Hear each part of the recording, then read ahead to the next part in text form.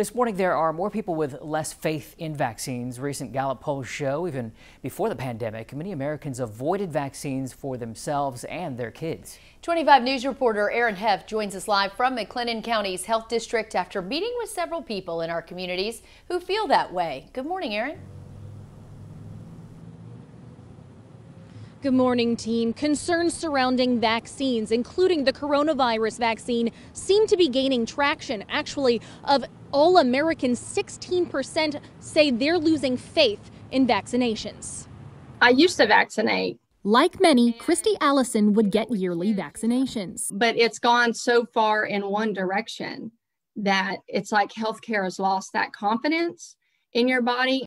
We also spoke with Liz Neal, who still gets vaccines for her family. My children have received some vaccines, but not as many as are recommended, saying she weighs the pros and cons herself. I've been researching vaccines since I got pregnant with my oldest child, so almost a decade. Which risk am I more comfortable taking as a parent with the health of my children? While doctors explain vaccines are still one of the greatest advantages of modern medicine after clean water. Vaccination um, fairly clear evidence that it makes a difference in terms of um, the exposure and the risk associated with communicable infectious disease. Explaining modern life expectancy has risen and child deaths have fallen exponentially since the creation of modern vaccines. And as such, uh, you know, the, the, vaccines are a bunch better, uh, a lot better tolerated. They, they tend to cause fewer side effects and they still provide the same we call immunogenicity, meaning that they're actually providing some protection against the disease you're trying to,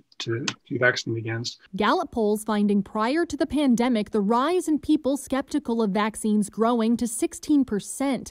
But vaccine believer or not, if you want the coronavirus vaccine, you might be waiting a while.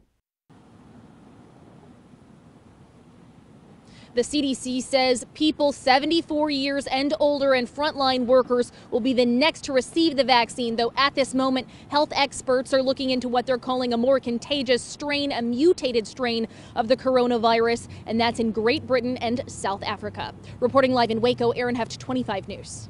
Erin, thank you. And as she mentioned, health officials say vaccines have played a huge role in the modern world, helping to all but eradicate certain diseases.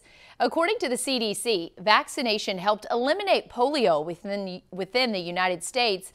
That virus spreads from person to person and can invade an infected person's brain and spinal cord, causing paralysis.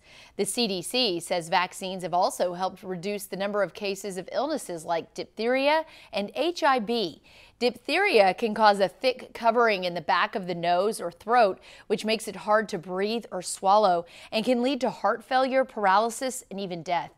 HIV, meanwhile, can do serious damage to a child's immune system and can cause brain damage, hearing loss, and death as well. Before the vaccine, more than 20,000 kids were infected each year.